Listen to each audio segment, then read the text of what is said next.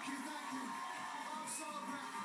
I'm so thank you very much. Thanks to Gordon Ramsay. Thanks to Lil Deck, the cast of Mr. Selfridge, Alex and Liam Birmingham, thank you. Our guest announcer Sarah Millican, thank you. And massive, massive thanks to Diversity.